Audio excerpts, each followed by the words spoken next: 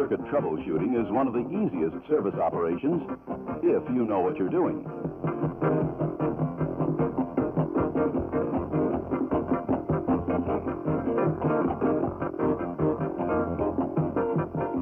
And it's one of the most exasperating if you tackle it without knowing what you're doing. Knowing what you're doing involves just two things.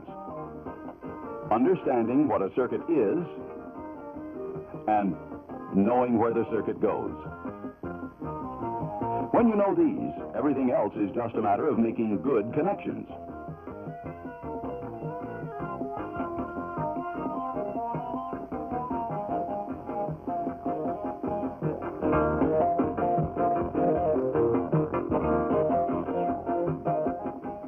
A circuit is a complete conducting path for electricity to flow from battery to load and back to battery. A circuit may be closed with electrical current flowing or open with no current flowing. In a car, most circuits are parallel. In parallel, each circuit has full battery voltage. Of course, the circuits must be completed by going to battery negative through the chassis ground. But there are also series circuits that act a little differently. A series circuit has more than one load, and the battery voltage is divided among the loads. Here we have two equal loads in series. 12 volts at the battery drops 6 volts over one lamp, and the remaining 6 volts over the other lamp. Shorting all 12 volts through one lamp will double the voltage and increase the current and brightness. Another series circuit which shows a voltage drop is the heater blower motor circuit. Again, we have resistors in series which drop the voltage to the blower motor and change the speed. One resistor in the circuit drops part of the voltage. Two resistors in series drop more voltage. Voltage, current, and resistance. Let's define these right now. Voltage is the electrical pressure or difference in potential between two points and is measured with a voltmeter. Battery voltage is caused by chemical action. This action is reversible, an alternator being used to restore the battery to its original condition. Current is the flow of electricity, actually electrons, along a conductor. Current is measured in amperes or amps. Resistance in a circuit limits the current flow. All operating circuits have voltage, current, and resistance. Fuses are put into circuits as protection devices. A fuse will melt and open when the current exceeds the amp rating designed for the circuit. For example, if a motor seizes. A short circuit will also blow a fuse when the load resistance is bypassed. Without a load, the excessively high current melts the fuse. On the other hand, abnormally high resistance causes other electrical problems. Battery won't accept a charge? A low rate of charge might make you think so. But actually, this problem is nothing more than high resistance caused by the corrosion material between the cable and the battery post.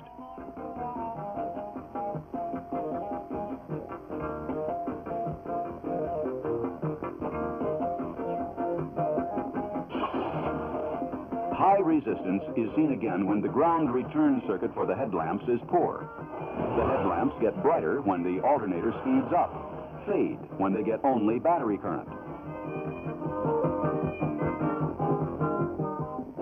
Your simplest troubleshooting tool is also one of the most important, a jumper wire. Connect it to a known good power source and you have an excellent power supply. If you suspect a switch, a jumper will quickly tell you if it's bad. The same with a ballast resistor. A test light gives you a load which you can use for tracing a circuit. Ground one end and you can easily follow the power path.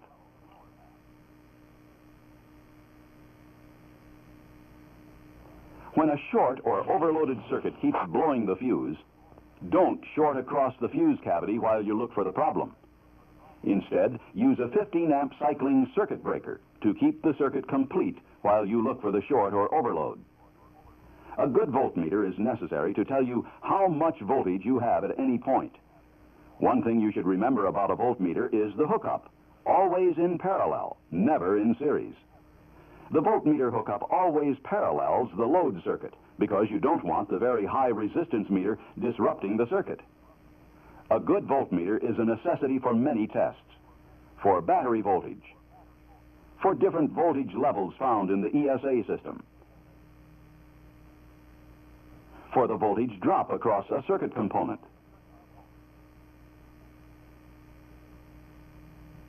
for charging circuit voltages, and in many other places. The ohmmeter is another very useful tool for electrical circuit troubleshooting.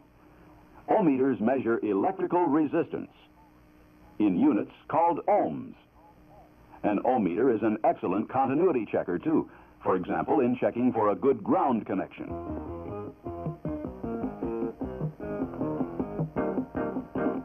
Ohmmeters have batteries for their power supply, and no other power is necessary. Ohmmeters are never used in hot circuits or with a key on. Ammeters, on the other hand, are always used with hot circuits.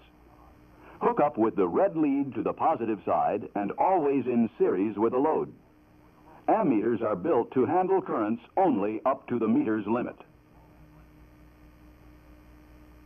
You always have to open the circuit to insert an ammeter and do not have to open the circuit to use a voltmeter.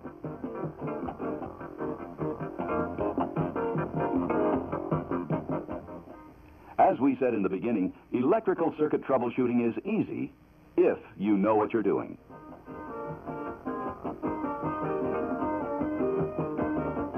The only way you can be sure of the correct circuit is to look it up.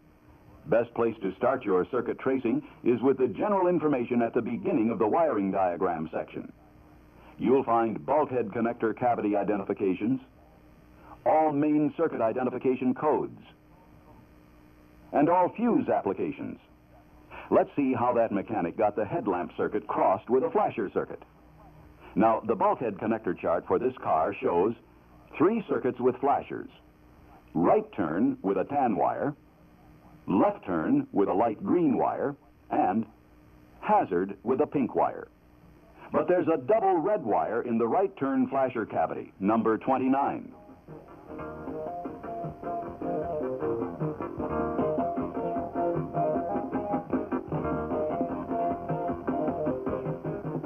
Unless you are very familiar with the circuit, always check the correct wiring diagram for the vehicle you're working on.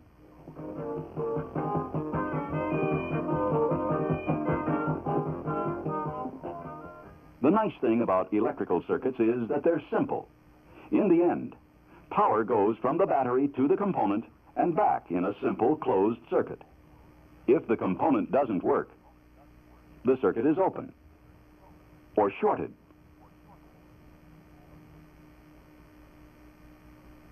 Or the component itself is bad.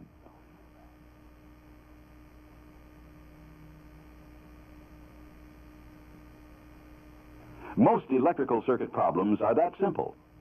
Bent terminals, dirty terminals, or maybe a small pin in a large hole because someone cleaned it out with a screwdriver. Now let's troubleshoot a typical problem. This car blows the fuse every time the parking lamp switch is turned on. We see by the manual that the fuse feeds several lamp circuits. Parking lamps, tail lamps, license plate lamps, and side markers. Since the fuse blows, one of these circuits is pulling too much current. But which one? To find out, Trace all the circuits so that you can isolate the one causing the trouble. You'll find that all the rear lamps feed from a single harness connector. Located at the left side cowl. Now, temporarily insert your circuit breaker across the fuse cavity. This will serve to complete the circuit and will cycle until you've isolated the short. By opening the harness connector, you can find out if the short is in the front harness or in the rear harness. Now you find out that the front parking lamp works and the circuit breaker has stopped cycling. That means the short is in the rear body harness or in the rear lamps. An examination of all the lamps on the rear harness shows nothing wrong. So we remove all the lamp bulbs to eliminate their ground feedbacks and check the power feeds, which should show open with the rear harness disconnected. But we find that the tail lamp feed is shorted, so the short has to be in the harness.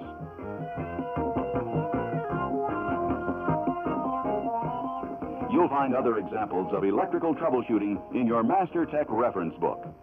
Take the time to work them out, and you'll soon be an expert. When you come right down to it, electrical circuit troubleshooting is only a matter of checking both ends of a piece of wire connecting two points. Once you know where they go, the rest is easy.